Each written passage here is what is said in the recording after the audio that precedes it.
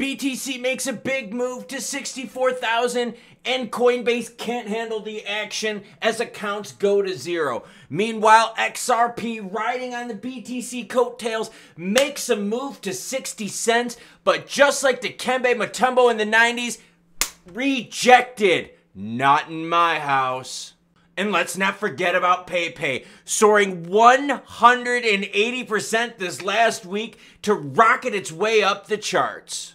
Starting it off with the viewer, because yes, you matter most. Pesky Logic Chilinsky says, I bet you're stoked to share good news with these pumps. It's been a year. Yes, definitely good to see XRP moving up on this BTC move. Couldn't even hold 60 cents and was rejected back to under 54.5 to 54. We're going to talk about XRP price action soon, but first let's get to the heat map and then get into the news. Bitcoin is sitting at 60,269. The move is alive and well. Look, last 24 hours BTC is up 5.4%, XRP down 4.3%, ETH pretty much sideways. Aptos still large, up 22% here in the last 24 hours. Lido making a move to the downside, down 6%. Wow. All right. Coinbase crashes as Bitcoin surpasses 60,000. Starting the day at 57,000, you know the deal. Made it all the way to 64.3 before undergoing a 6.2 correction to 60,000. Given the spike in Bitcoin's price volatility, Coinbase was overwhelmed in a surge of traffic. Many users reported seeing a zero balance in their Coinbase accounts and encountered errors while attempting to buy or sell. Wait a minute, wait a minute. You remember when the Torres action happened and they weren't able to get orders through. And, and remember when Uphold had problems with XRP? Like, is crypto not ready for any serious move? Like, seriously, if there's any, like, major, major, like, candlestick action going on, dude, like, are these guys gonna not be able to hold the action? Like, come on.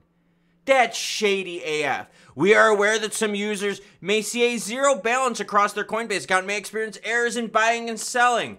Of course, while BTC has like its highest amount, your assets are safe. Here's what Brian Armstrong said.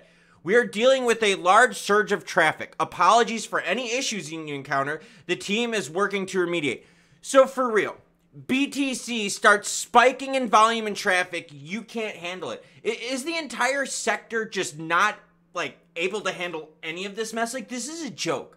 Like, this is a serious, disgusting joke. And what bothers me about this is crypto and everything else dealt with money is built on trust.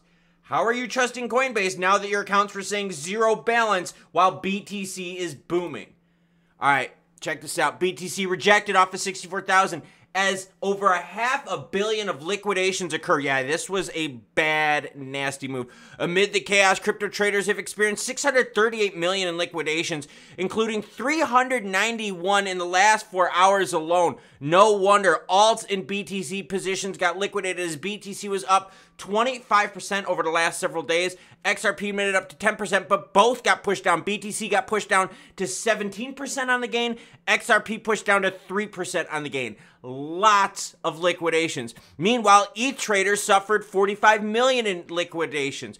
55 million of it was in one hour. 96 million was done in little to known altcoins. Lots of liquidations. And what else is happening? Pepe making a move. Pepe is up nearly 180% for the week. This extraordinary comeback is overshadowing the meme coins as Pepe goes for a daily gain of 43% and a weekly gain of 176. All of this action happening on the BTC coattails.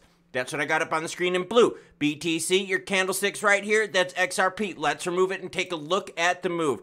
There you go. Made it up to 60 cents. Specifically was at 60.5, could not hold, sent it back down to 54.3. Here we are right now floating at around 56.3. The hope is that this stops, that BTC finds footing and propels its way back up. Why? Because BTC is the reason for this whole market's move. And when you compare the two, for those out there that are like, bro, BTC has nothing to do with this, let me just put BTC back in. We'll put it in the girl's baby blue. Look at the moves. They look nearly identical here. But what's sad though is that BTC has been making the bigger move than XRP. And if we zoom in a little bit, you can see the major move here to the downside where BTC was still moving up. Zoom in just a little bit more and you can see exactly what I'm talking about here. Yes, XRP down quite a bit more, erasing quite a bit more of its gains, about 24 hours worth of gains while BTC nearly raced what?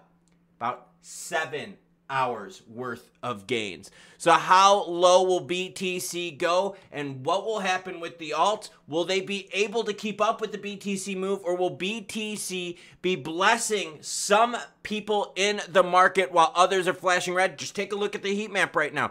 Tell me that the market right now is pricing stuff out. You're seeing separation. I know you're not excited to see XRP down, but this is market separation, and we've been waiting for this. By the way, near protocol down big as well, down 5.5% to 372 here in the last 24 hours.